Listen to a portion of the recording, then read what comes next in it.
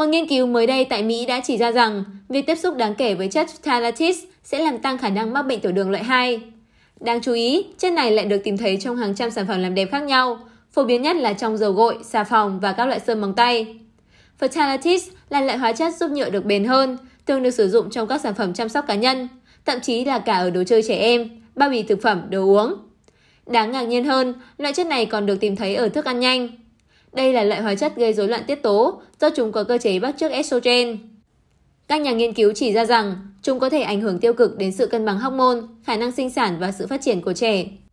Cũng theo nghiên cứu này, phụ nữ da trắng tiếp xúc với các loại phthalates ở mức độ cao có nguy cơ mắc bệnh tiểu đường cao hơn người bình thường từ 30 đến tận 63%.